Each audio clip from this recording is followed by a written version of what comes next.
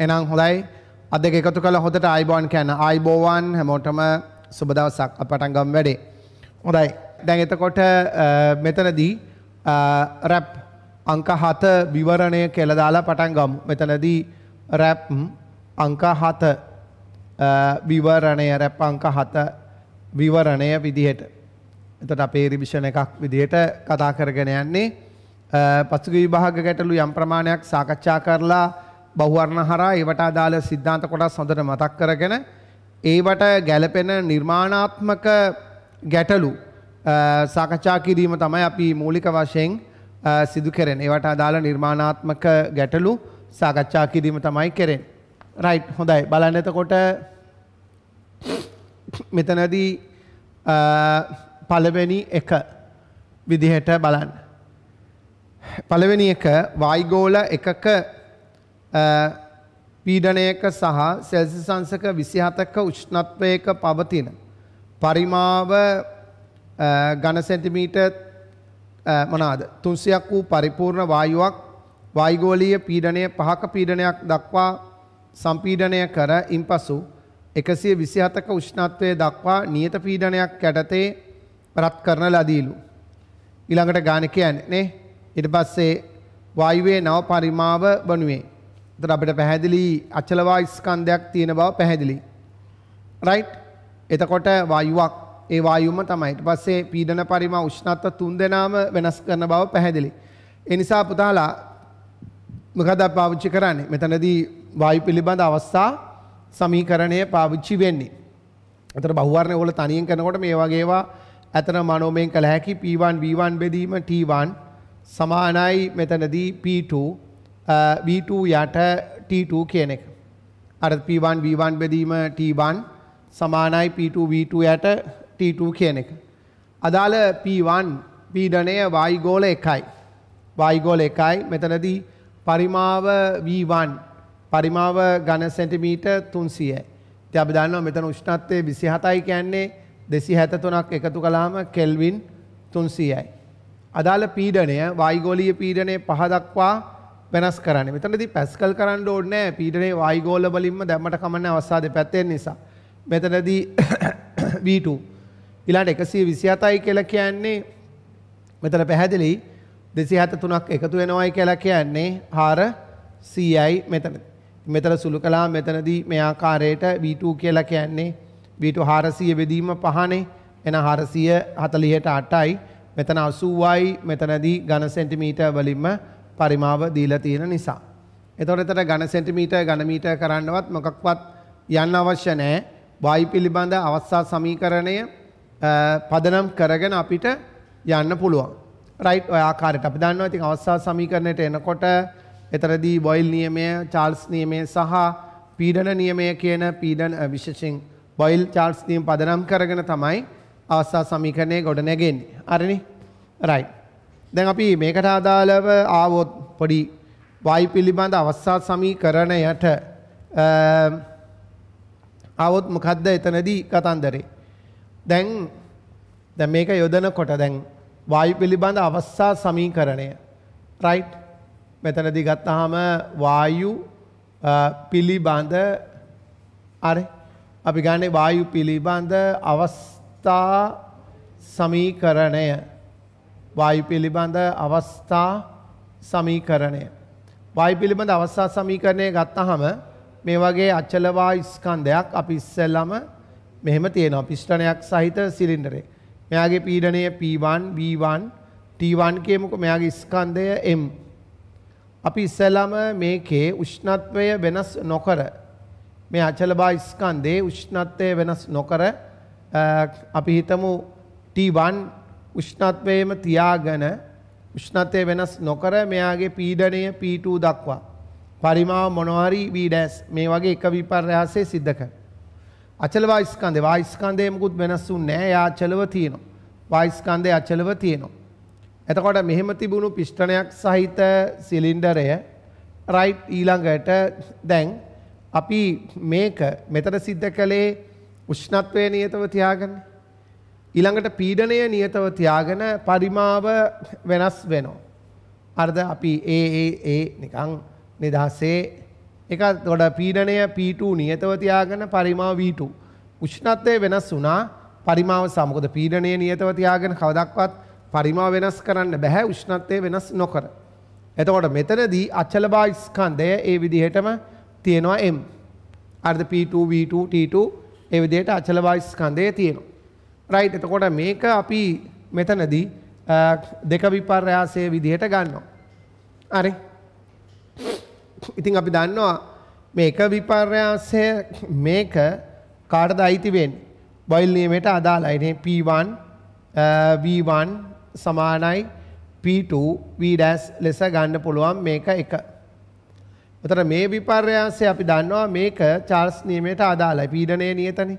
එහෙනම් V යට T1 සමානයි මෙතනදී V2 යට මෙතනදී T2. මේක දෙක කියලා ගමු. එතන අපිට පහසුයි මෙතනදී එකයි දෙකයි වැඩි කරන එක නේ එකයි. මේක එතකොට මේක බොයිල් නියමයට අදාළව ගත්තේ අරක චාල්ස් නියමයට අදාළව ගත්තේ. දැන් මම මේකෙදී අවස්ථා සමීකරණෙත් එක්ක බැඳෙන නිසා ඒ අවස්ථා සමීකරණය පදනමේ යන කාරණා ටික. එතකොට එකයි දෙකයි වැඩි කරනකොට මෙතනදී P1 B1 වැඩි කිරීම මෙතනදී B යට T1 සමානයි මෙතනදී P2 මෙතනදී V මෙතනදී V2 යට මෙතනදී T2 ඔය විදිහට අපිට ගන්න පුළුවන් පුතාලා. දැන් එතන ගත්තාම මොකද ලස්සනට කතන්දරේ.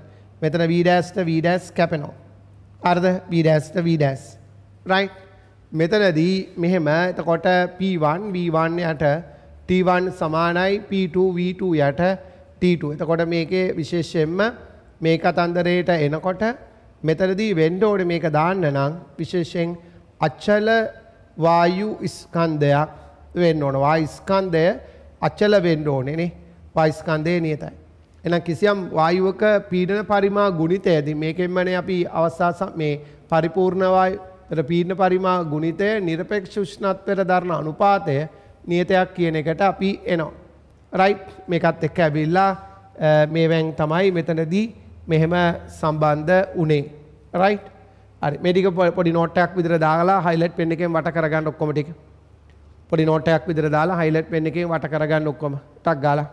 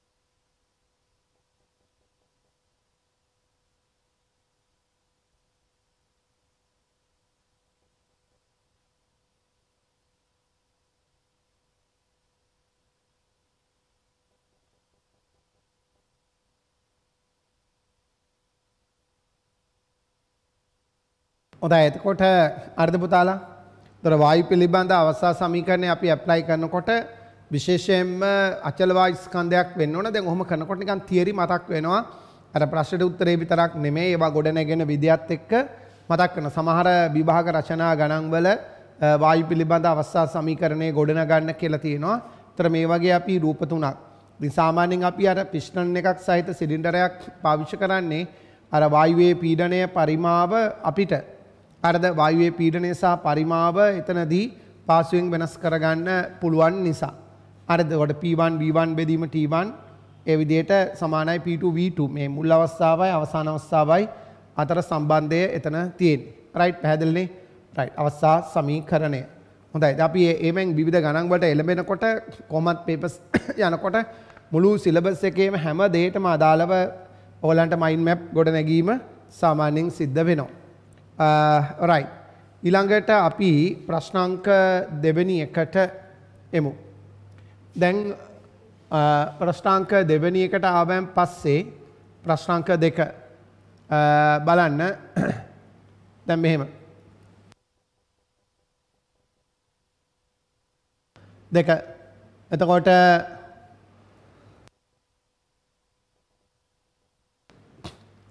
හොඳයි එතකොට දෙදස් තුනේ එලවල් MCQ එකොළහ කතා කරන්නේ බලන්න.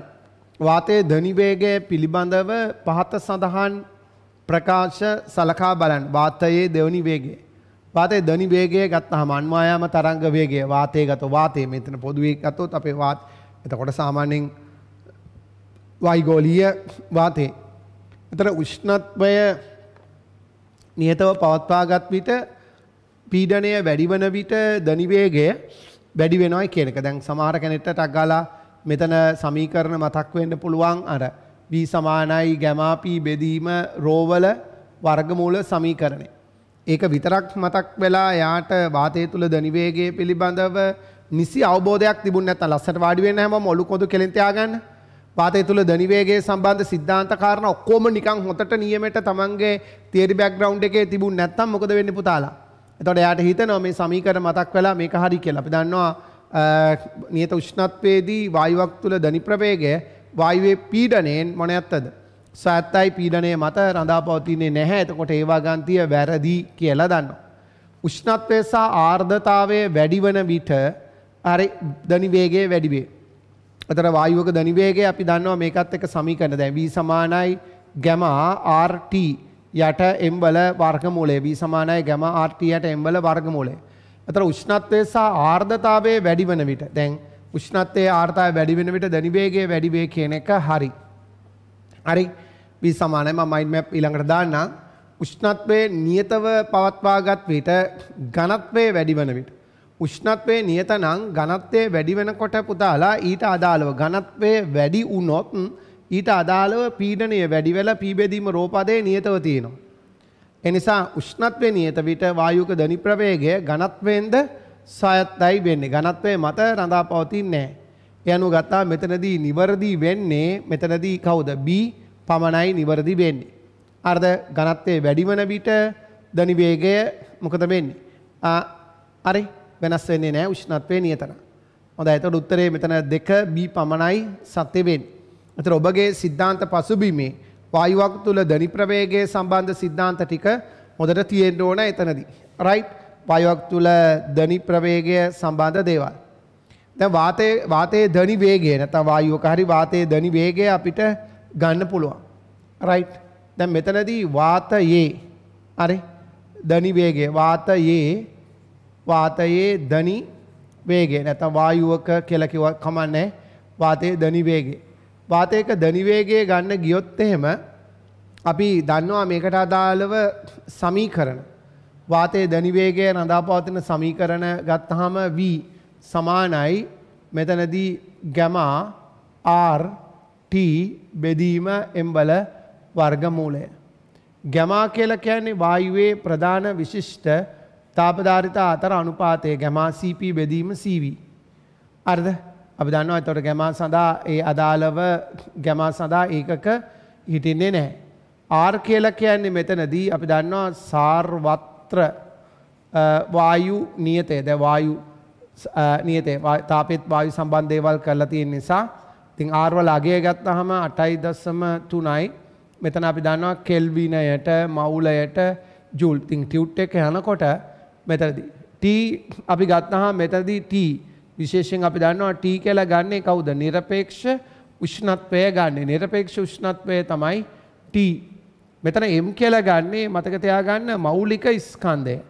මෞලික ස්කන්ධය. එතකොට මෙතන මෞලික ස්කන්ධය. මෙතන උෂ්ණත්වය කෙල්වින් වලින් දාන්න. මෙතන මතක තියාගන්න මවුලයට ග්‍රෑම් නෙමෙයි මවුලයට කිලෝග්‍රෑම් වලින් දාන්න ඕන. නොවා මගහැරෙන්න පුළුවන් ඒවා M. අපි සාමාන්‍ය දැන් ඔක්සිජන් ගත්තොත් නම් අපි දාන්නේ මවුලයට ග්‍රෑම් Uh, කිය ඔක්සිජන් වල මවුලට ග්‍රෑම් වලින් තිස් දෙකයින් තර මේක ආදේශ කරනකොට මවුලට කිලෝග්‍රෑම් වලින් ආදේශ කිරීම අවශ්‍යයි. එතකොට ඔය විදිහට ඒ සිද්ධිය එතකොට එක සමීකරණයක් අපිට ගන්න පුළුවන් වායුව තුළ දනි වේගය. ඉතින් මෙතනදී අපිට යම් වායුවක් සඳහා මෙතන ගත්තොත් මෙතනින්. හරි? අපි යම් වායුවක් සඳහා ගත්තොත් එය එකම වායුවටනේ එකම එකම වායුවට ගත්තොත් එකම වායුවට ගත්තාම අපි දන්නවා වායුව තුළ දනි වේගය. මේ සංකේතත් මන් නිකන් හැදුන්නේ එකම වායුවට m නියතයිනේ. M නියත නම් අපි දන්නවා v සමානුපාතිකයි කාටද මූල t ට. එන අපි සාමාන්‍යයෙන් අපි ගන්න දේ තමයි මෙතනදී මොකද්ද? V1 යට v2 අවස්ථා දෙකට දැම්මාම t1 යට t2 වල වර්ගමූලය කියලා එකම වායුවට අපි දැම්මොත් ওই විදිහට මයින්ඩ් මැප් එකෙන් අපිට අදාළ තොරතුරු විහිදවන්න පුළුවන්. ඉතින් ගණන් හදනකොට මේවනේ අපි පාවිච්චි වෙන්නේ. වායු එකම වායුව නම් m නියතයි. මෞලික ස්කන්ධය සහ ගැමා r එකම වායුවට අදාළව නියතයි. m විතරක් නෙමෙයි ගැමා r කොහොමත් සාර්වත්‍ර නියතයිනේ. අතර වායුව තුළ දැනී වේගය.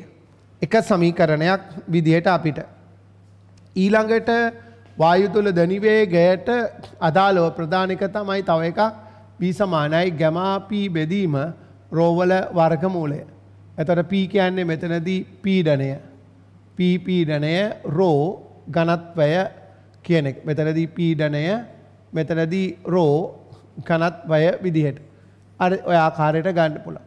දැන් අපි ගත්තට මෙතනදී T නියත විට හරිද උෂ්ණත්වය නියත විට V අගය V අගය P සහ රෝ ගෙන් මොකද වෙන්නේ ස්වායත්තයි.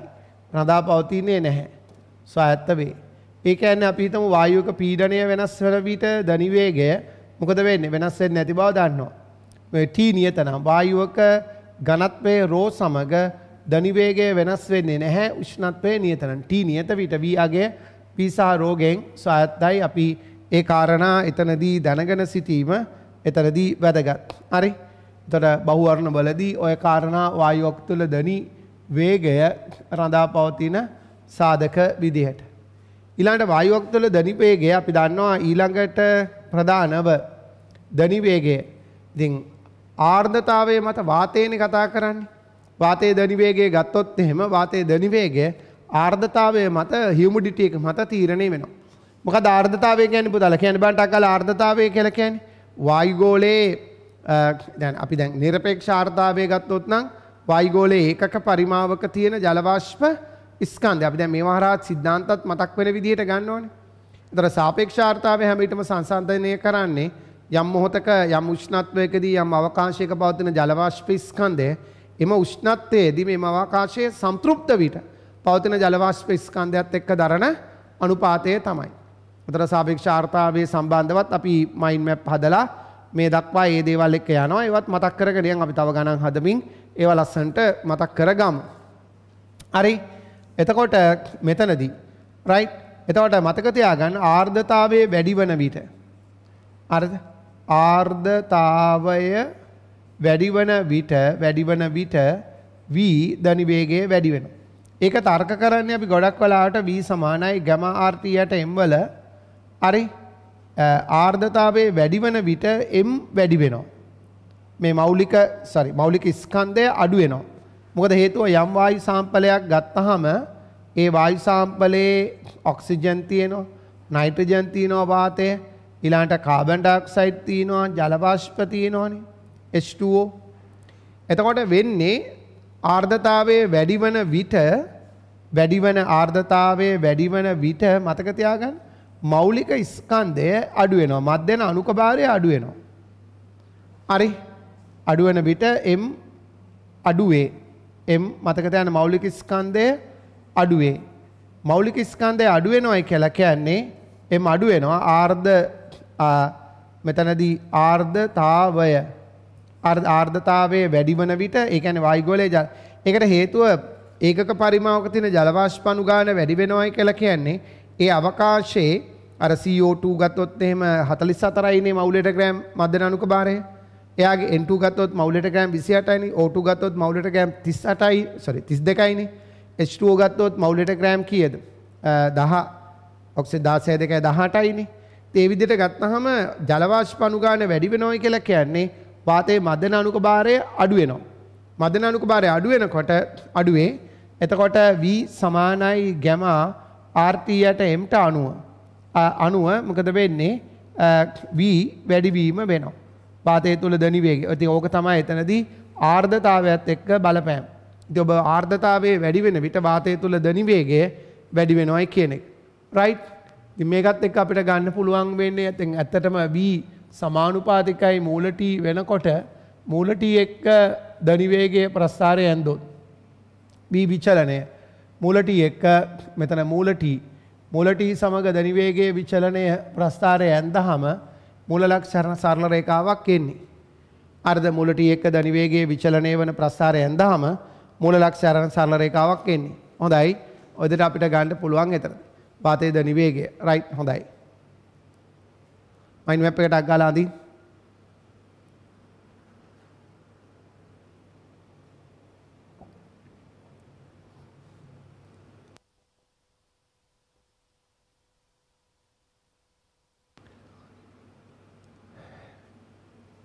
වාතයේ දැනිවේගය සම්බන්ධව ගත්තේ හොඳට CR පිටුවක් හෝ භාගයක් හරි පිරෙන විදිහට මයින්ඩ් මැප් දමමින් ඒ ටික කරන්න.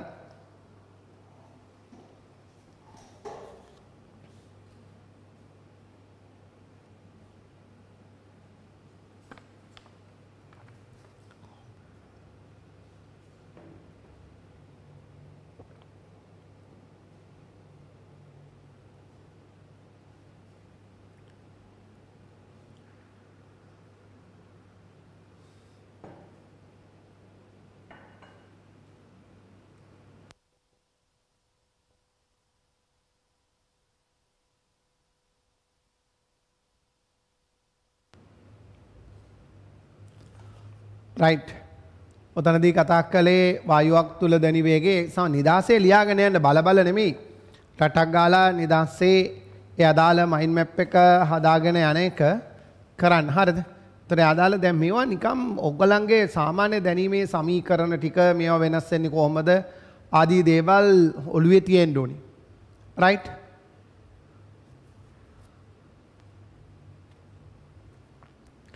දැන් මෙතනින්ම තව මේකට අදාළව දැන් මෙන්න මේ මේ කොටසට අදාළව තව ඊතලයක් දාලා අපි දැන් වහුවර්ණවල එහෙම ගන්නකොට සාමාන්‍යයෙන් ඕගොල්ලෝ මේ ගත්ත එකෙන්ම දැන් අපි දන්නවා T නියත විට අර්ධ T නියත විට වායු දෙකක් සඳහා වායු දෙකක් සඳහා ගතොත් දැන් අපි හිතමු ඒකේ ගැමා නියතව තිබුණොත් දැන් දිවි පරමාණුක වායු ගත්තොත් ගැමා එකමනේ වෙන්නේ.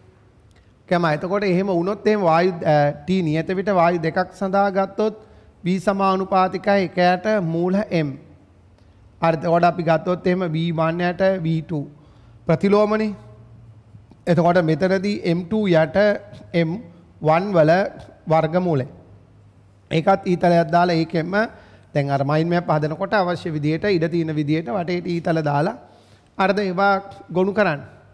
තොට එක එකක නිකන් චිත්‍රය වගේම ලිව්වහම මතක හිටිනවා නියමෙටම. එක මාරම සාර්ථකයි මේ මයින් මැප් මෙතඩ් එක රයිට් මේට කියන කෙටිම කෙටි සටහන් ෂෝට නෝට්ස් විදිහට තියෙන්.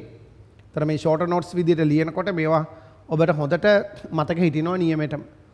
රයි් තරට නියත විට වායු දෙකක් සඳහා වී සමානුපාතිකයි කෑට මූල එම් වීවන්නයට V2 සමාන M2 යට M1 ඔය දෙට ගන්න පුළුවන් M2 යට M1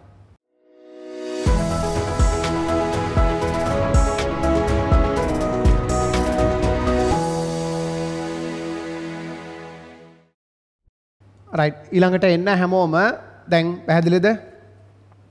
ප්‍රශ්නංක 3 සමාන දිග L සහ සමාන හරස්කඩ වර්ගඵල ඇති එහෙත් වෙනස් ඝනත්ව dA සහ dB සහිත තන්තු දෙකක් A සහ B එකිනෙකට සම්බන්ධ කොට.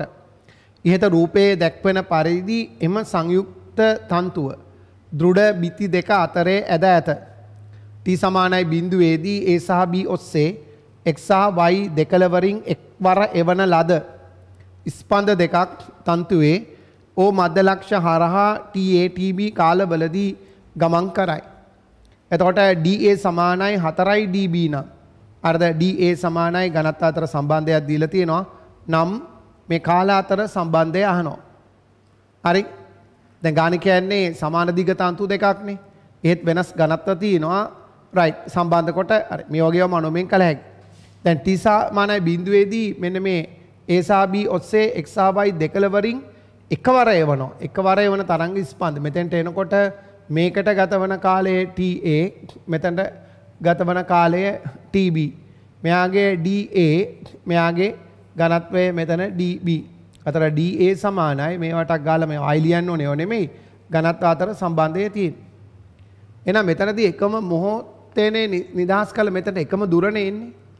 එහෙනම් අපිට මෙතනදී ඔලුවට එන්න ඕන ටක් ගාලා අර s සමානයි ut ට අනුව අරද අවස්ථා දෙකේ ut ගුණිත දෙක සමානයි කියන එක. අවස්ථා දෙකේ එකම ටිකනේ.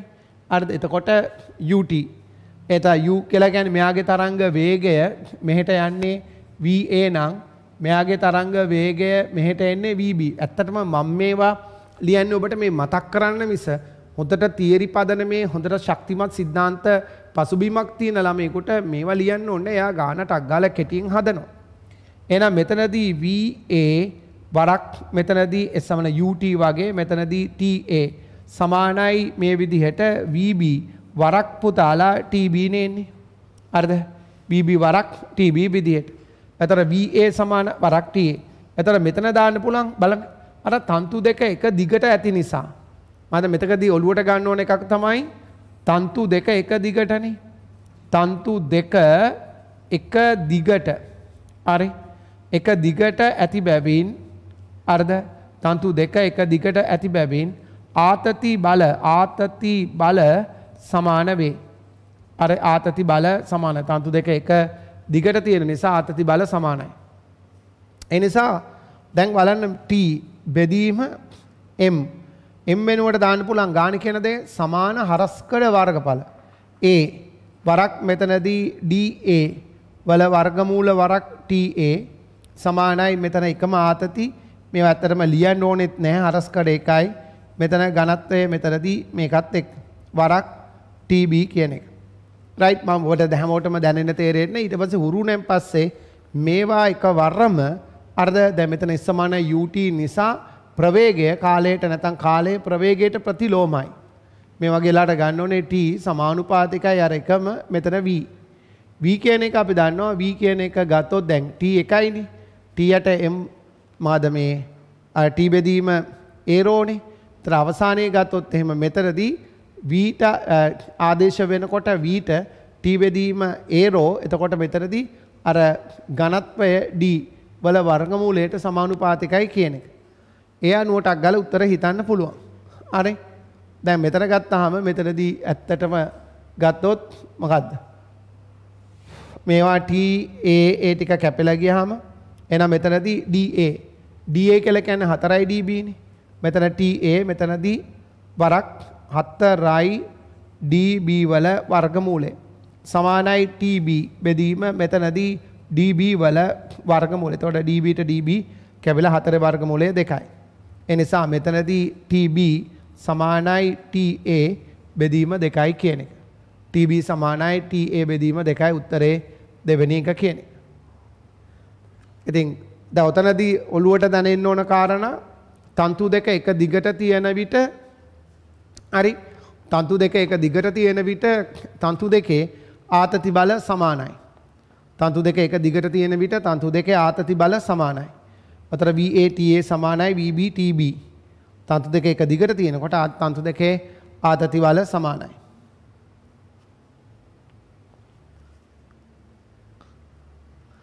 හරි. ඔද TB සමානයි එතනදී භාගයයි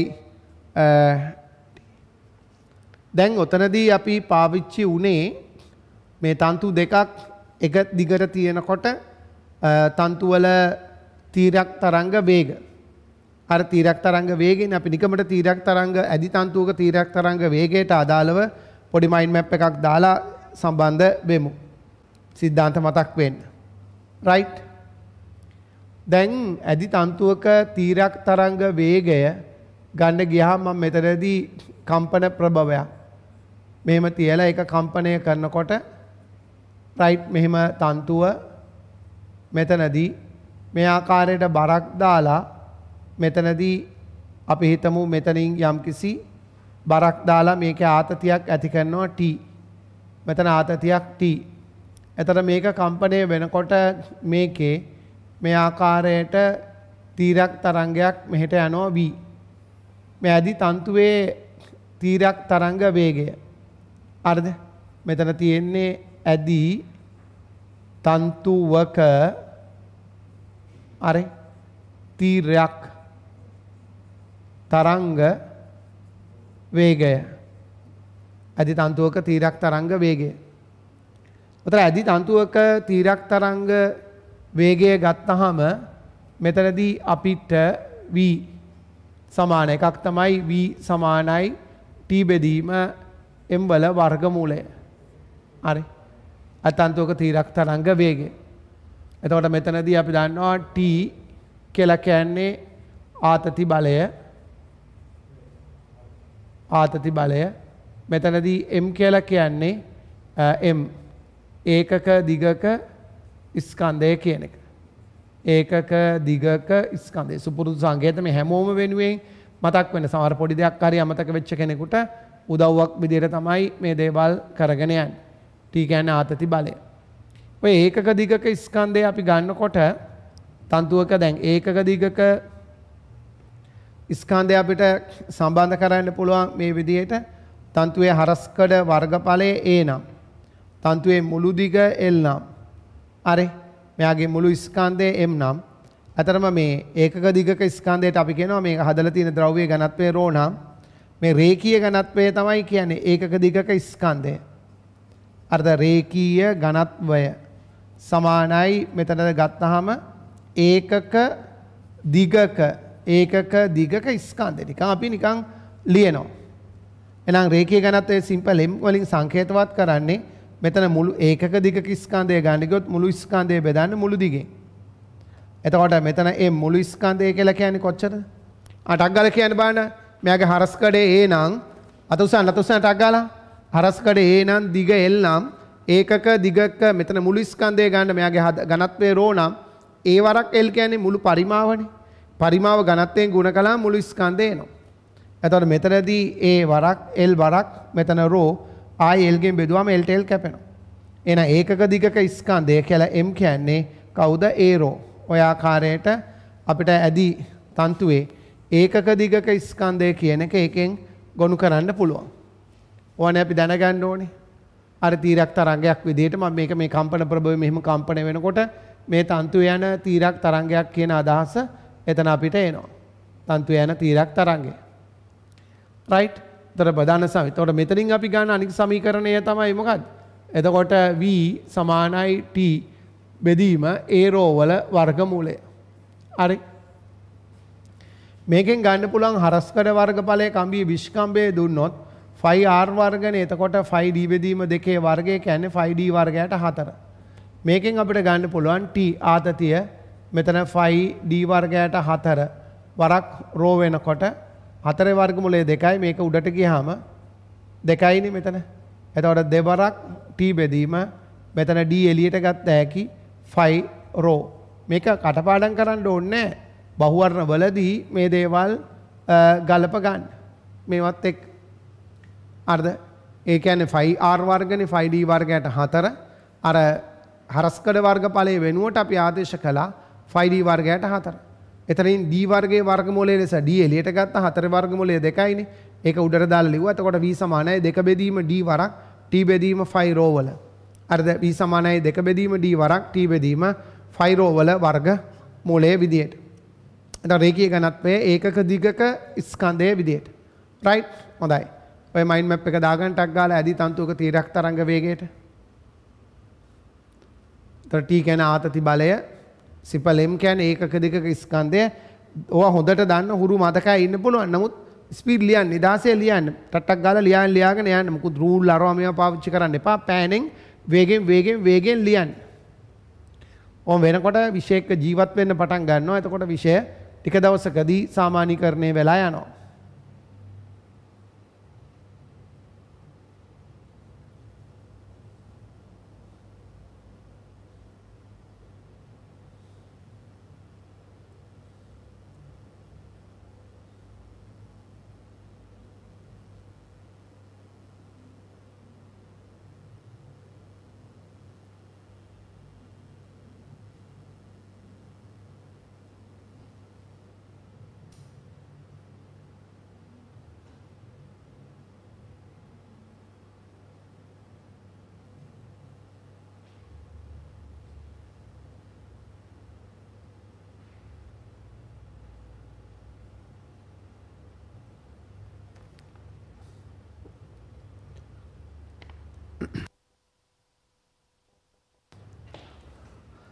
හොඳයි ඔය විදිහට ඇදි තන්තුවක තීරයක් තරංග වේගයට අපි ආවේ.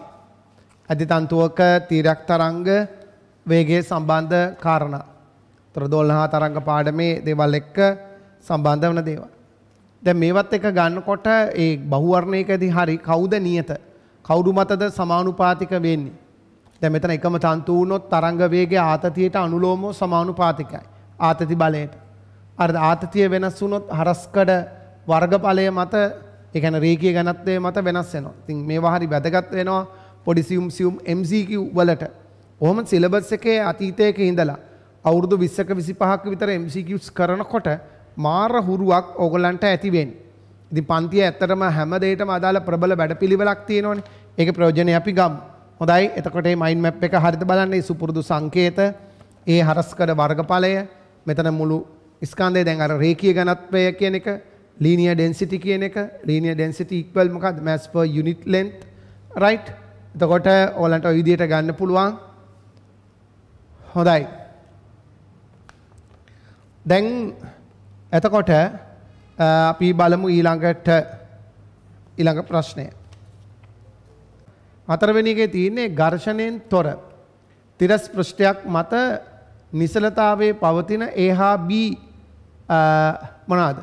සර්වසම ට්‍රොලි දෙකක් තුල සර්වසම ස්කන්ධ සහිත ළමයි දෙදෙනෙක් සිටගෙන සිටිති.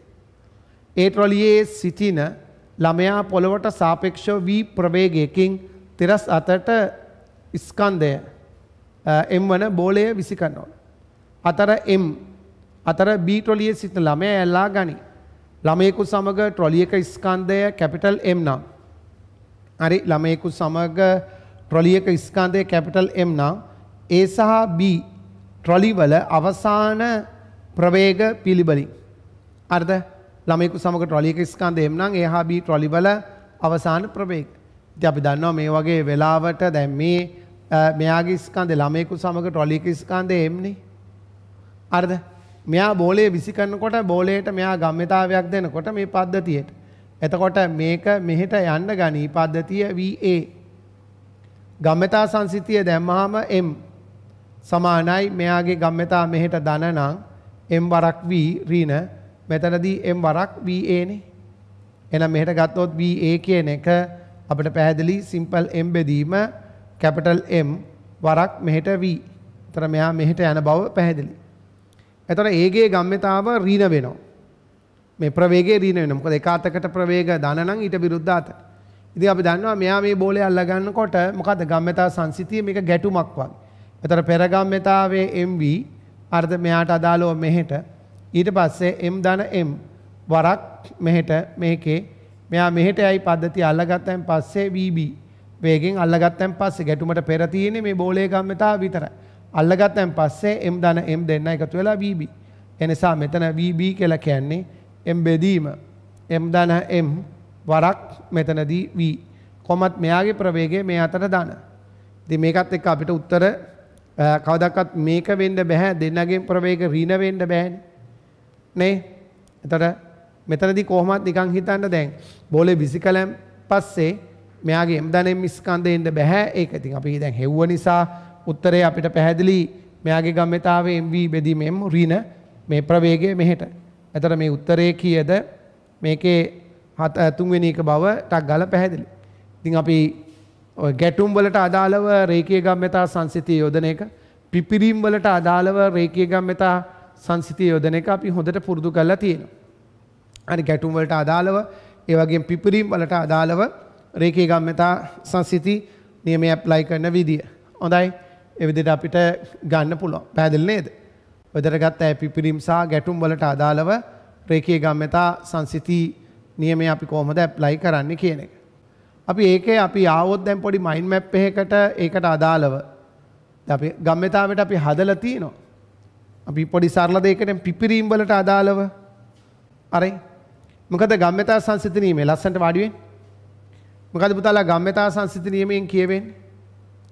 පොදුවේ ගත්තාම යම් වස්තුවක් හෝ වස්තු පද්ධතියක් මත යම් දිසාවක් ඔස්සේ අසමතුලිත බාහිර බලයක් ක්‍රියා නොකරනවන අර එම දිසා ඔස්සේ වස්වය වසු පද්ධතියේ රේකයේ ගම්්‍යතාවය සංසිතිකයි. දොර අපි දැන් මෙහෙම ගත්තොත් දැන් ඔය මම පොඩි මයින්ඩ් මැප් එකක්. හරි. මීට පෙරත් හදලා තියෙන නමුත් වැඩි වෙන්නේ පිපිරීම් සඳහා. පිපිරීම අභ්‍යන්තර බලවල පිපිරීම් සඳහා රේකීය ගම්මෙතා සංසිති නියමය යෙදීම. පිපිරීම් සඳහා. අර්ධ පිපිරීම් සඳහා රේකීය ගම්මෙතා සංසිති නියමය යෙදීම.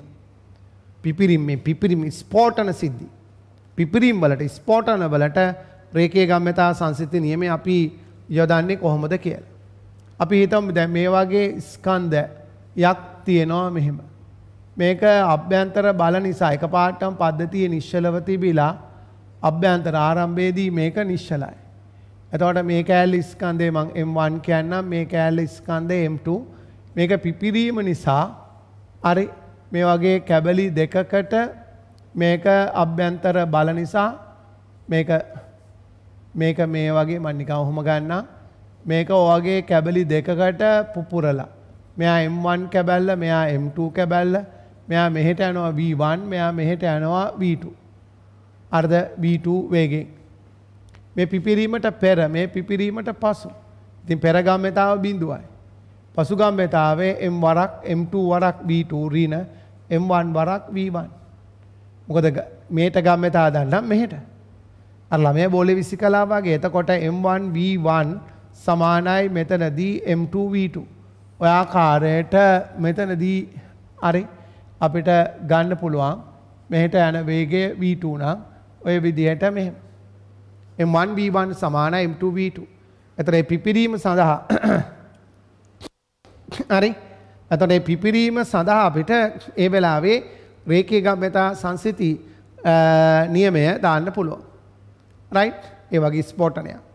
ඉතින් දැන් ඔය තුවක්කුවකින් වෙඩි තියෙන සිද්ධිත් ඒ වගේනේ. පිස්සෝලකින් හරි ඒ වගේ තුවක්කුවකින් වෙඩි තියෙනකොට මේ වගේ හරි දැන් උණ්ඩේ පිටවීමට පෙර උණ්ඩේ පිට වෙනකොට මේ පද්ධතියම ආරම්භයේ නිශ්චලව තියෙන්නේ. හරි ඊට පස්සේ උණ්ඩේ පිට වෙනකොට මේ තුවක්කුව මේ පිටිපස්සට මෙහෙම මේක වාංගු වීම සිද්ධ වෙනවා. මෙයා කැපිටල් M නම් රයිට් මෙහෙට අපි හිතමු මෙයා රිකොයිල් වෙනවා මේ බුලට් එක මේ විදිහට සිම්පල් M නම් මෙයා මෙහෙට V වේගෙන් යනවා. ඉතින් මේකෙදිත් පද්ධතියට දානකොට පෙරගම්මතාව පද්ධතියේ බිඳුවනේ අර විදිහම තමයි. එතකොට m වරක් v ඍණ කැපිටල් m වරක් vr විදිහට. එහෙනම් මෙතනදී mvr mvr සමානයි සිම්පල් m වරක් v ලෙස ගන්න පුළුවන්. එතකොට දැන් අවසානයේ උණ්ඩේ පිට වුණෙන් පස්සේ උණ්ඩේ ගම්මතාවේ විශාලත්වය තුවක්කුව පිටිපස්සට වාංගු වන ගම්මතාවේ විශාලත්වයට සමාන. විශාලත්වයට ගම්මතා සමාන නැහැ. මේක අනුව හිතන්න එපා. උණ්ඩේ ගම්මතාවේ තුවක්කුවේ ගම්මතාවයට සමානයි කියලා පිපිරීමෙන් පස්සේ. බෙලි තැබීමෙන් පස්සේ වැරදි. ගම්මතා විශාලත්ව සම. මොකද දිශා දෙකන්නේ. ගම්මතාවේ දෛශිකයක්. එහෙනම් දිශා දෙකක්. ඒ නිසා ඒ කතාන්දර පිපිරීම සඳහා. දැන් අර වගේ නිකන් මොන හරි එකක් බෝම්බයක් වගේ එකක් පුපුරනවා. ඒ වගේ දැන් අපි සාමාන්‍යයෙන් මේ වගේ සිද්ධි දැන් මේවා එකක් ඇවිල්ලා මොන හරි මිසයිලයක් එනවා. හරි? අපි හිතමු නිකමට මේ වගේ කැපිටල් M ස්කන්ධයේ තියෙන මිසයිලයක් U එකෙන් එනවා. මේ තියෙන පිපිරීමට පෙර මේක පිපුරුවෙන් පස්සේ මේ වගේ කැබලි රයිට් අර තමයි අපි හිතමු මෙතන M ස්කන්ධයක් මෙහෙම. අර තව ස්කන්ධයක් මම M1 කියන කැබැල්ලක් මෙහෙට යනවා V1 මේ කෝණය θ1. තව කැබැල්ලක් මෙහෙට යනවා මේ වගේ M2 ස්කන්ධය. මෙයා M1 මෙහෙට යන වේගය V2 මේ කෝණය මෙතනදී θ2 ඉතින් මේ තියෙන්නේ පසු පිපිරීමෙන් පසු මේ පොඩි ගණන් මේ පෙර ඒකට දැම්මහම රයිට් රේඛිය දැන් මේ මොකද්ද මේ පිපිරීමට දාන්න පුළුවන්. පිපිරීමේදී බාහිර බලය දෙන්නේ නැත්තම් ගම්මතා සංසිතිය දාන්න පුළුවන්. රයිට් ආයෙලා මේක මයින්ඩ් මැප් එකක් විදිහට දාන්න පිපිරීම සඳහා රේඛීය ගම්මතා දාලා මේකත් ඔබ මට මෙතන දාලා හදලා පෙන්නන්න මයින්ඩ් මැප් එකේ. කම්ප්ලීට් කරන්න. ත්‍රේ විදිහට පිපිරීම් සඳහා රේඛීය ගම්‍යතා සංසිතිය දමමින් ටක් ගාලා සම්පූර්ණ කරන්න යෙදෙන යෙදෙන. ඒතකොට සියරි මතක් වෙලා එනවා. මිශ්‍රව අපි මේ දක්වා මේ විදිහට විවිධ කරගෙන යන පාඩම් ආශ්‍රිතව.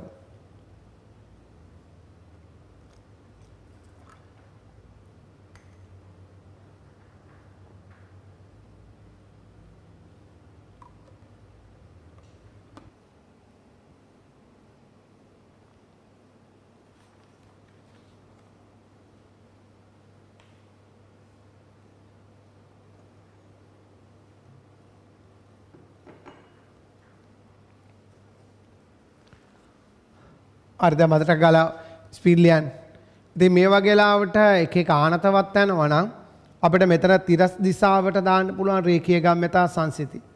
එහෙම දැම්මා මෙහෙට MU මේ අතට.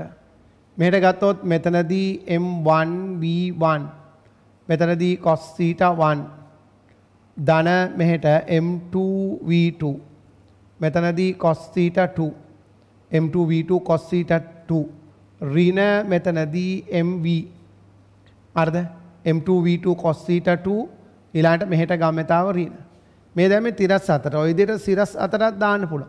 සිරස් අතර දානකොට පෙර ගම්‍යතාව බිඳුවයි. මෙහෙට එනවා මේකේ ගම්‍යතාවයක් එන්නේ නැහැ. එතකොට M1 V1 මෙතනදී sin theta 1 ඊළඟට ඍණ මෙතනදී M2 V2 හරි. මේ විදිහට sin theta 2 ඔය විදිහට මෙතන මේ ආකාරයට ගන්න පුළුවන් මේ විදිහට මෙතන. Right? එතර mu එතර mu කියන එක සමාන m1 v1 cos theta 1 දන් එතර මේ තිරස් අතර දැම එතකොට මේ අතර තියෙන ගම්මතා ධන නම් විරුද්ධ අතර ගම්මතා ඍණ. එහෙනම් මෙතනදී m. මෙතන m1 v1 sin theta 1 ඍණ. M2 v2 sin theta 2 ඒ විදිහට අපිට ගන්න පුළුවන්. ගම්මතා සංසිතිය පිපරීම් සඳහා රේකයේ ගම්මතා සංසිති නියමිතින් ඔයගේ ඔන් වෙඩි තැබීම් සිද්ධි. ඔය ළමුන් දෙදෙනෙක් බහුවර්ණ වල එහෙම තියෙන අත්ලට අත්ල තියලා තල්ලු කරගන්න සිද්ධි. ඒ වගේ ඒ වෑදි අපි දාන්නේ මොනවද? රේකයේ ගම්මතා සංසිති නියමය. ඉතින් භෞතික විද්‍යාවේ ගම්මතා සංසිති නියමය ඉතා වැදගත්. අපි ගැටුම් සඳහා මීට පෙර කතා කළ හැප්බීම් වලට අදාළව ගම්මතා සංසිතිය යොදන ආකාරය. හොඳයි හරි නේද? මයින්ඩ් මැප් එක සහ ඒ තියරි මතක් වෙනවනේ. පොඩි පොඩි ගණන්. ඒ කියන්නේ පිපිරීමේදී හරි ගැටුමේදී හරි බාහිර බලයක් යෙදෙන්නේ නැත්නම් දරුවනේ මොකද්ද? ඒ පද්ධතියට රේඛීය ගම්‍යතා සංසිති නියමය දාන්න පුළුවන්. බාහිර බලයක් යෙදෙන්නේ නැත්නම් අපිට එතනදී ඒ සිද්ධියට අදාළව රේඛීය ගම්‍යතා සංසිති නියමය දාන්න පුළුවන්. පැහැදිලිද? රයිට් හොඳයි.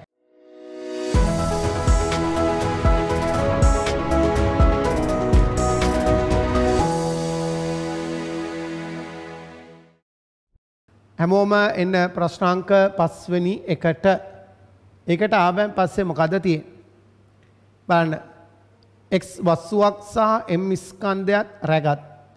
සැහැල්ලු දණ්ඩක සන්තුලන පිහිටීම් ඒ රූපයෙන් පෙන්වයි. එක් ජලය ගිල්ලූ විට එම පද්ධතියේ සන්තුලන පිහිටීම බීරූපයෙන් පෙන්වයි. ජලය සන්තුලට පිට බැලන්සලා තියන්නේ අතර තියෙන මේ මොනහරි පිහිධාරය වටා.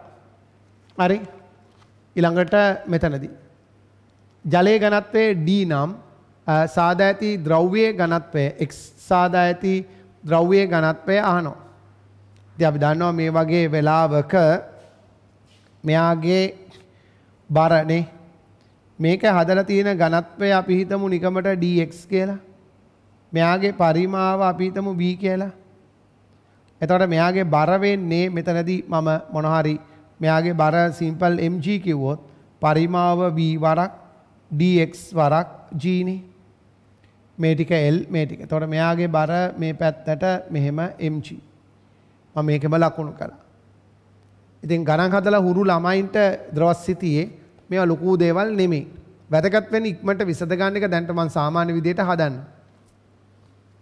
එතකොට මෙතනදී මෙයාගේ බර මෙතකොට බර කොහොමත් මෙයාගේ v වරක් dx වරක් g.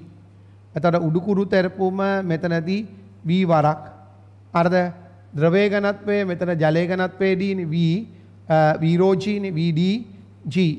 මෙතන ආතති බලය AT තමයි ආතති බලය තමයි මෙතනින් ගූර්ණයට බලපාන්නේ. කොමත් මෙතනදී මේකේ බර මේ පැත්ත mg මයි මෙතන දිග ඊට අදාළව වෙනස් වුණා L2. මෙතන තිබුණේ මුලින් L1 නේ? L1 L2 එච්චරනේ කතන්දරේ කොහොමත් මේ වගේ අවස්ථාවල මෙතන ලක්ෂය මොන හරි ඕනම් මේ ඕවට ගූර්ණ ගන්න එකනේ කරන්නේ. හරිද? ගූර්ණ බැලන්ස් කරන එක කරන්නේ. එතකොට මෙතනදී මේ විදිහට අපි ගූර්ණ බැලන්ස් කරනකොට මීට අදාළව මෙතන වැදගත් වෙන්නේ දැන් මේකේ බර කියලා කියන්නේ මෙතනදී v වරක් මෙතන dx වරක් මෙතන G. ස- වරක් මෙතන L කියන එක සමානයි මේ පැත්තේ mg වරක් කැපිටල් L1 මෙතනදී ඇත්තටම ආතති බලය කියලා කියන්නේ මෙතනදී T අ, T වෙන්නේ මෙහෙට උඩට T නේ T ධන මේ දෙක එකතුවනේ T ධන මේ මනෝමෙන් ගන්න VDG සමානයි VD අ, VDXG කියන එකට. හරි. එතකොට මෙතනදී ගත්තාම mg වරක් එතකොට. මෙතන ගත්තොත් එහෙම ඇත්තටම මෙතනදී ආතති බලය වෙන්නේ බරෙන් මේක අඩු වෙලා. එතකොට අපිට v වරක් මෙතනදී dx වරක් g. ඊළඟට vdg වරක් මෙතනදී l සමානයි මෙතන දිග. මෙතනදී mg වරක් මෙතනදී l2 මේක අපි දෙක කියමු. මේක අපි එක කියමු. ඉතින් මේකයි මේකයි බෙදලා අපිට ටක් ගාලා v අර dx ඝනත්වය අර්ධ x ගේ x ගේ ඝනත්වය අපිට හොයාගන්න පුළුවන්. හරි. කැමති විදියක් එතකොට මම මෙතනදී බෙදනකොට දෙකයි එකයි බෙදන්නම් එකයි දෙකයි බෙදුවත් කන්න දෙකයි එකයි මම බෙදුවොත් දෙක බෙදීම එක. බෙදනකොට v v කැපෙනවා පොදු නිසා. L කැපෙනවා g කැපෙනවා.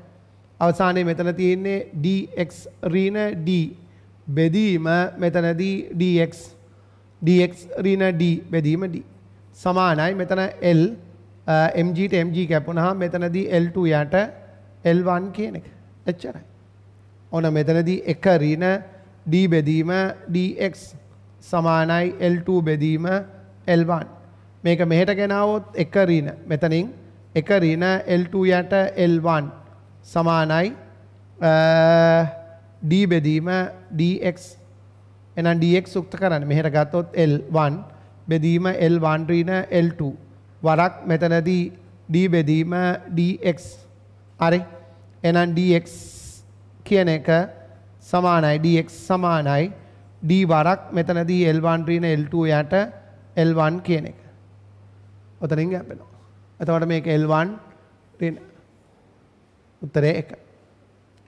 එතන කළේ ඉතින් ගූර්ණ ගත්ත එක මිසක් වෙන මුකුත් නෙමෙයි.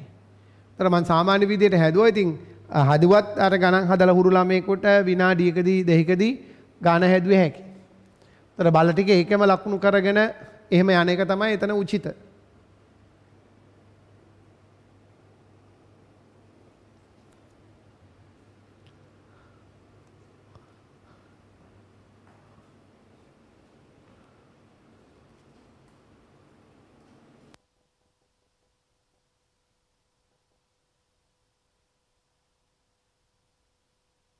වගේ ඒවා ගොඩක් ඒවැදී මේ ඇත්තටම මේ සමානුපාතික ක්‍රමවලින් ලියන්න පුළුවන් තරම් පුරුදු වෙන්න. දැන් බලන්න. දැන් මෙතන ගන්නකොට ඔබට V ඇත්තටම අවස්ථා දෙකේ V අරවා මේවා G L කැපිලන් නිසා මෙතනදී dx කියන එක හුරු ළමෙක්ට සමානුපාතිකයි L1 කියලා ගන්න ඕන අවස්ථා දෙකේම දෙපැත්තේ එක නිසා. එතකොට මෙතනදී මේ මේ ටිකත් එක්ක ළමෙක් ලියනකොට මේ ඔළුවට අරගෙන එයා ගූර්ණ එයා ලියන්නේ ඊළඟ එකේදී dx ඍණ d සමානුපාතිකයි කවුරු විතරද L2 විතරයි එයා ගණන් හදලා උරු ළමයා ලියන්නේ. ඉතින් ටක් ගාලා එයා මේ දෙක බෙදලා අර ඒ අදාළව උත්තරේට ඉක්මනින් එනවා. සමානුපාතික කතන්දර තුල. එතකොට ඒවා ඉක්මන් වෙනවා ওই දෙයට ගාන තුල. සමානුපාතික කතන්දර හරහා ගාන ගිය හැකි. එතකොට ඒ- ඒක නිකන් එන එකක් නෙමෙයි ඉතින් ළමෙක් ගණන් හදලා තියෙන එක්ස්පීරියන්ස් එකත් එක තමයි ඒක ඔබට එන්නේ. හරිද? රයිට්. එතන දෙයාට මේ ගානට අදාළව රූපවල බල අදාළව මේ මෙන්න මේ ලකුණු කරපු බල ටික ඉතේ ඇඳිලා එන්න ඕනේ මේ උඩුකුරු තෙරපම තමයි වීරෝජී. තර D නේ දීලා තියෙන්නේ VDG. තර වස්තුවේ බර වෙන්නේ පරිමා බරක් ඝනත්වයේ බරක් ගුරුත්වතරණයේ බර. එතකොට ඒ මේ බරෙන් උඩුකුරු තෙරපම අඩු කළාම තමයි මෙතන ආතතිය. මේ ආතතිය තමයි මෙහෙට ඇති කරන ගූර්ණයට බලපාන්නේ. හරි.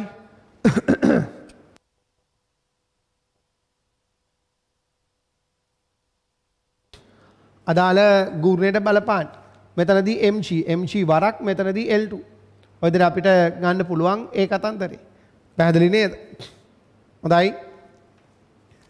ඒ විදිහට. දැන් අය උඩුකුරු තෙරපුම ඝනත්ව අ, ඒ සම්බන්ධ දේවල් දැන් ආකිමිඩිස් මූලධර්මය ආදී දේවල් ගැන ඔබට දැන් මෙතන තියෙන මේ උඩුකුරු තරපුමත් එක්ක යන සිද්ධි පිළිබඳ අවබෝධයක් රයිට් තියෙන්න ඕනි. මෙතන පාවීමත් නෙමෙයිනේ මම මේ වෙලාවේ ලොකු මයින්ඩ් මැප් එකකට මේක යන්නේ නැහැ. තවද ද්‍රවස්සිතියේ පාවීම ඉපිලුම් නියම ආදී දේවල් එක්ක අපිට ගන්න පුළුවන්.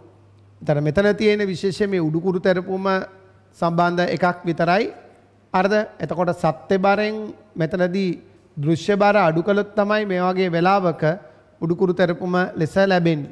අතන මෙතන ආතතිය තමයි මෙතන දෘශ්‍ය බර. මේ වෙලාවේ නම් මේ වෙලාවේ ආතති බලය ගත්තොත් ඒක සත්‍ය බරටම සමානයි. මුකුත් වෙන ගිල්වල නැහැ. මෙතන ගිල්වල තියෙන නිසා තමයි මෙතන උඩුකුරු තැරපුම් බලයක් විදිහට එතන තියෙන්නේ. රයිට් හොඳයි. තර මං ඒක ලොකුවට දැනට මයින් මැප් එකකට එකේ යන්නේ නැහැ. හරි.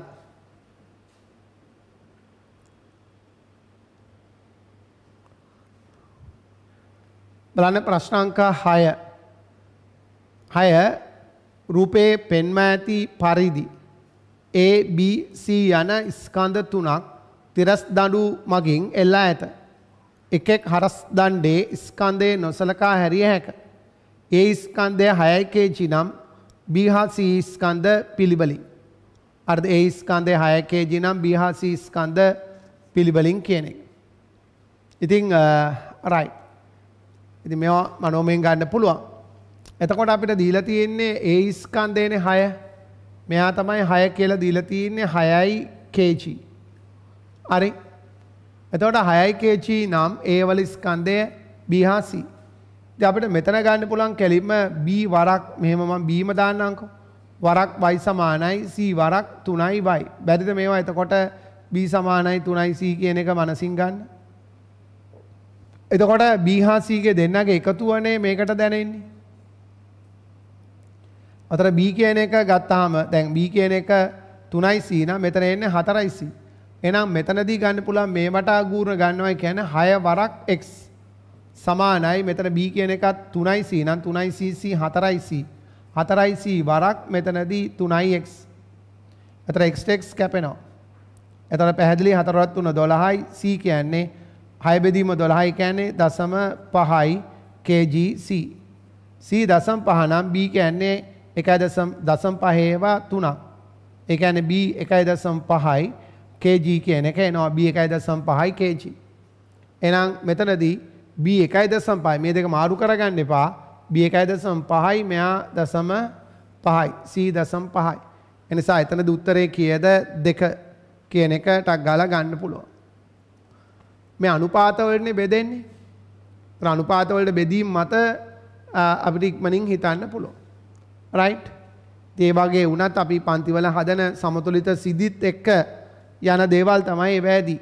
දැන් මේ මුල් කාලය තුල ආරම්භ කාලය තුල ඕගලන්ට පොඩි පොඩි පාසු වෙන දේවල් එක්ක යන්නේ ඊට පස්සේ ටික ටික සිලබස් එක තුල යනකොට දැන් දැන් ඔබට තේරෙනවා ඇති යාන්ත්‍ර විද්‍යාව වැඩ ටික කරපු අයට මාරම ලේසි. යාන්ත්‍ර විද්‍යාව පට්ට ලේසි වෙනවා කියලා කියන්නේ එතනින් එහාට වැඩේ ගේමක් නැහැ. ඉතින් තමන් මේ වැඩේට තියෙන කැපකිරීම, වැඩේට තියෙන ඌමනාව මත තමයි මේ සියලු දේවල් තීරණය වෙන්නේ. පැහැදිලිද? right. එතකොට මෙතන 2.5 kg දශම 5 kg. ඕකේ.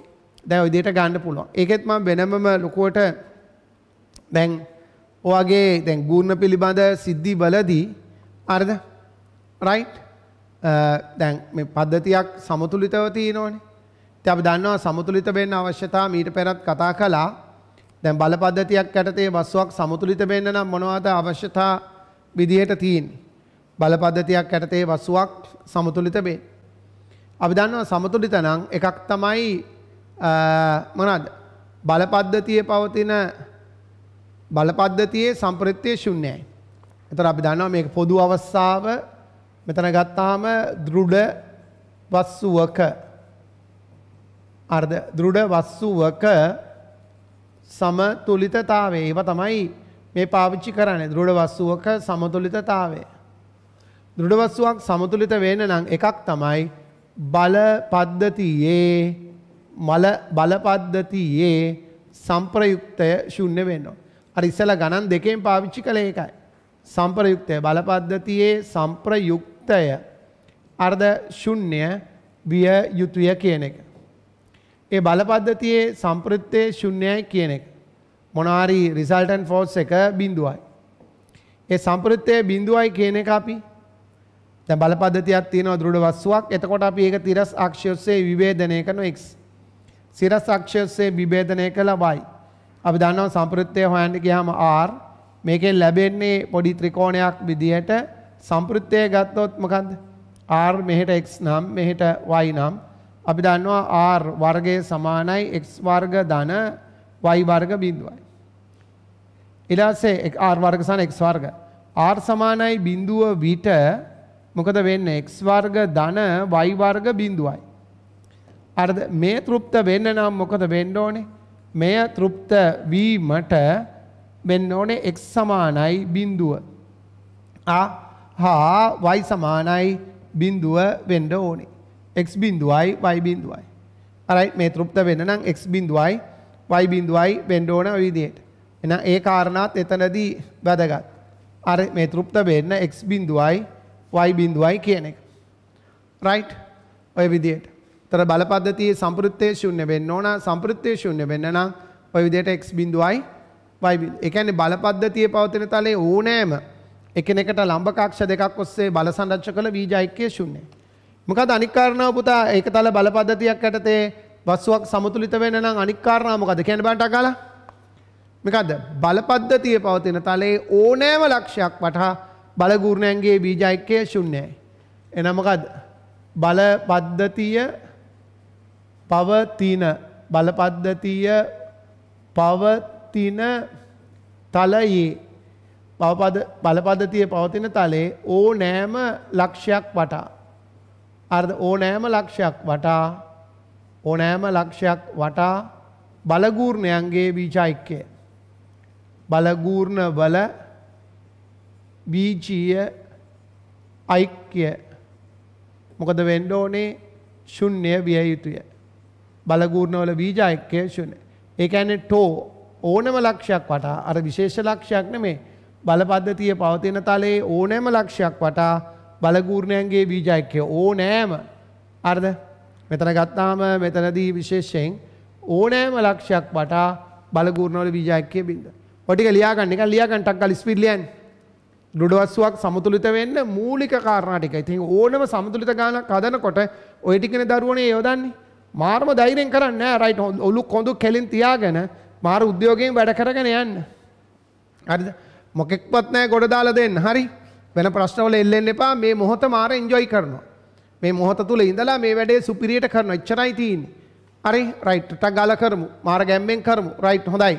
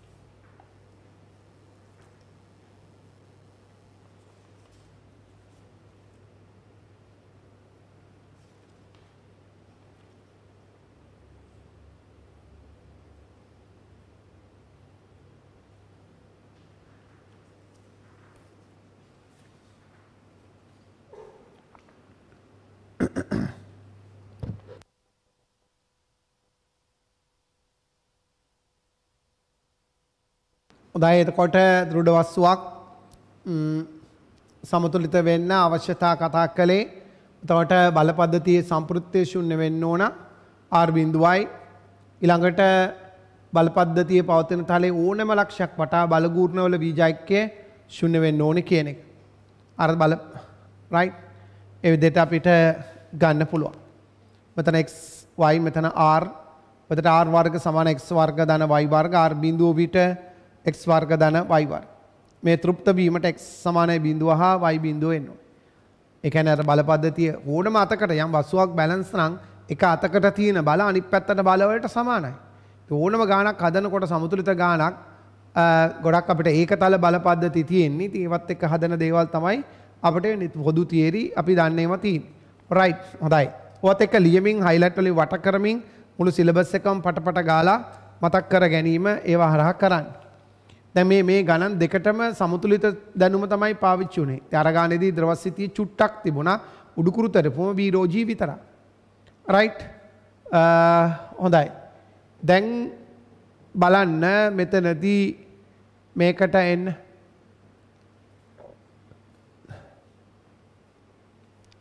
බලන්න රේකීය ප්‍රසාරණතාව දෙක වැඩි කිරීම 10 රින 5යි. කෙල්විනේට වූ ද්‍රව්‍යයකින් සාදා ඇති ලෝහ කම්බි දඟරයකට එන්පොට සංඛ්‍යාවක් ඇත. දඟරේ R රූපේ බලන්න කියනවා නියතව තබා ගනිමින් ඒ උෂ්ණත්වය සෙල්සියස් සංසක එකකින් වැඩි කළ විට පොට සංඛ්‍යාව n ධන 1 විය. අර එන්හි අගය. දැන් මේවා ළඟ ළඟ ඔතලනේ තියෙන්නේ මෙහෙම මෙහෙම. රයිට්. එතකොට දැන් මෙතන පොටවල් n තිබිලා n ධන එකක් වුණා. එතකොට අපි දන්නවා මෙතනදී අපිට පාවිච්චි කරන්න පුළුවන් මෙතනදී රයිට්. දැන් පොටවල් n තිබිලා n ධන එකක් වුණයි කියලා කියන්නේ අර හරියට ඩෙල්ටා l සමානයි l ඇල්ෆා තීටා ගන්නවා වගේ එකක්ින් තමයි වැඩි වුණේ මුලින් n තිබිලා. එයා මුල් දිග n වුණා නම් වැඩි වූ ප්‍රමාණය n ධන එකයි කියලා කියන්නේ වැඩි විච්ච එක එකයි. අතර ඇල්ෆා ප්‍රසාරතා සංගුණකය දෙක වරක් 10 ඍණ 5යි. අර්ධ උෂ්ණත්වය සෙල්සියස් අංශක එකකින් තමයි වැඩි කළේ. එහෙනම් n කියන එක මෙතනදී අපිට පැහැදිලි මොකක්ද? මෙහෙට යනකොට භාගයේ වරක් 10 ධන 5යි. ඒ කියන්නේ මෙතන බිඳුවක් ඉල්ල ගත්තොත් පහ වරක් 10 4යි කියන එක ඊටාම සරලයි. මෙතනදී ඇත්තටම අපිට මේ අර මේකේ කොච්චර වට වට ඔතලද 25R එහෙම දාලා යන්න ඕනේ නැහැ. ඇතර මේක ආරම්භයේදී n ප්‍රමාණයක් මුළු දිග නිකන් n වගේ තිබිලා n ධන එක උණයි කියන්නේ එකකින් වැඩි වුණා වගේ කියලා හිතන එක තමයි ගානේ ලේසිම දේ. ඒ වගේ වෙලාවට අදාළව රේකීය ප්‍රසාරණයට අදාළව අපිට මතක් කරන්න පුළුවන්. හරි. ඩෙල්ටා L යට L